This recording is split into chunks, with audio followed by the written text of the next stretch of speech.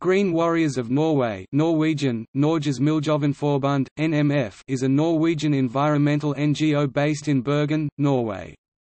The organization also has offices in Oslo and Tromsø.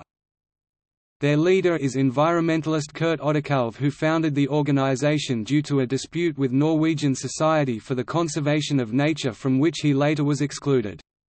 The organization operates mainly on local level. It also does some work on the national and international level.